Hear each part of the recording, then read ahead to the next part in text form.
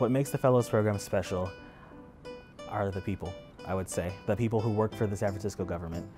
They are dedicated, they want to ensure that their, that their work is in good hands in the future. They want to make sure that there is ample professional development available. The networks that I have been able to grow since I've been working for the city of San Francisco are invaluable to me. Um, from when I was first starting off at the public library um, to now that you know I'm in a different department now, but I've been able to keep a lot of my contacts, people who check up on me, who want to make sure I'm doing well, and people who I can go and ask for help.